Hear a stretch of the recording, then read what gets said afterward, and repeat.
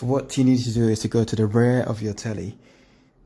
and um, you bypass all those ports which, you know, have other connections and go to where the sticker says, there's a sticker in there and it says um, common interface. So what you need to do is you, you, you pull off that um, sticker or you, you, you, peel it off and um, you make sure um, you know it's all peeled off and you see all these um, you know gaps where you can stick your adapter in